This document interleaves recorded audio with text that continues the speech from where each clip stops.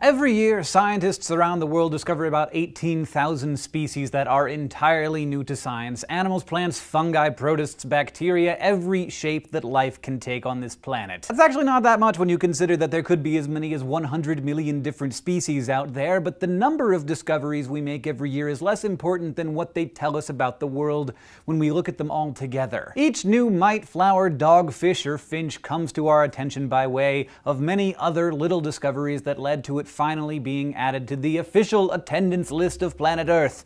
After all, every new organism has to not only be found, it has to be studied, compared, identified, and organized. That's taxonomy, the science of classifying living things and exploring the evolutionary relationships between them. And to celebrate the latest achievements in this field, as well as the birthday of the man who basically invented it, Swedish scientist Carl Linnaeus, every May the International Institute for Species Exploration weighs in on the most impressive discoveries of the previous previous year. The top 10 new species of 2013. Who made the list this year? Well, it includes a glow-in-the-dark cockroach, a monkey with blue testicles, and the smallest vertebrate on Earth. Hopefully, that got your attention.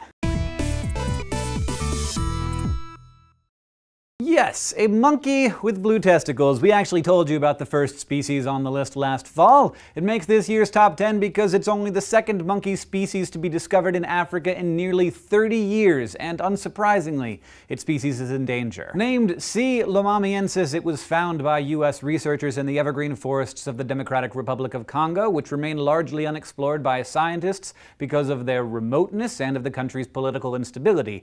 Despite its isolation, though, the monkey, known to its friends as the Lesula monkey, is vulnerable and is hunted for meat. And the coloration I mentioned makes the males at least easy to spot. Their behinds, testicles, and everything in between are bright light blue. Not to be outdone, another new species can make itself seen in a different light. Literally, L. luckei is a newly identified species of giant lightning roach a cockroach that glows under fluorescent light. Found in remote areas in South America, the lightning roach owes its bioluminescence to fluorescent bacteria that live in its shell, and not coincidentally, the pattern it displays when it glows matches that of another poisonous beetle that emits light at the same wavelengths. This makes the lightning roach the first known species to use bioluminescence as a kind of defensive mimicry. But to me, it's just the first known species that looks a really lot like the Jawas on Tatooine. Am I right? This list also includes another canny mimic, a snail-eating snake called Sibid and no, I don't know how to pronounce these things. Found in the mountains of western Panama, it lives on a diet of snail, slugs, worms, and amphibian eggs, and bears a striking resemblance to venomous coral snakes. But like many organisms on the list, its habitat is threatened, in this case by mining. Biologists are so concerned about the impact of mining in the region that they gave the snake a name that means in Spanish,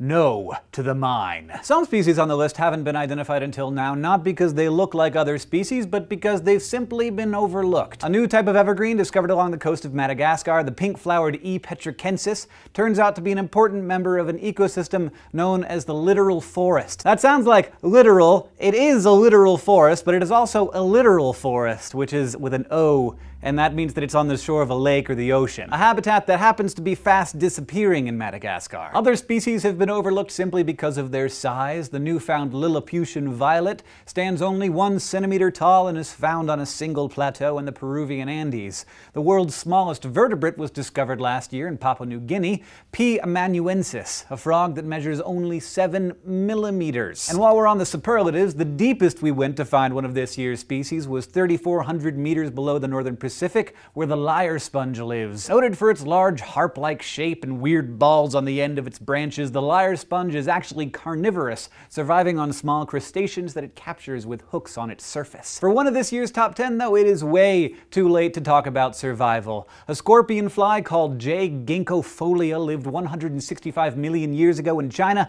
making its living by hanging out under leaves to catch its dinner. Discovered only recently in a fossil, it too had probably been seen before but not noticed. Its wings so closely resemble the leaves of the ginkgo tree that it lived in, many specimens had been mistaken for plant fossils. Humans and fungi go back together a long way too, but this next species poses a threat to one of humanity's greatest creations. In the mid-2000s, mysterious black stains began to appear on the famous 17,000-year-old cave paintings in Lascaux, France. The culprit was identified last year, a species of fungus named for the famous cave where it's running amok. O. lascauxensis it only started to flourish after workers treated the cave with another fungus, which O. lascauxensis seems totally unaffected by. Finally, we have the internet to thank for the last species on the list. A few years ago, a tourist posted a picture he took on his Flickr page of a lacewing insect he found in a park near Kuala Lumpur.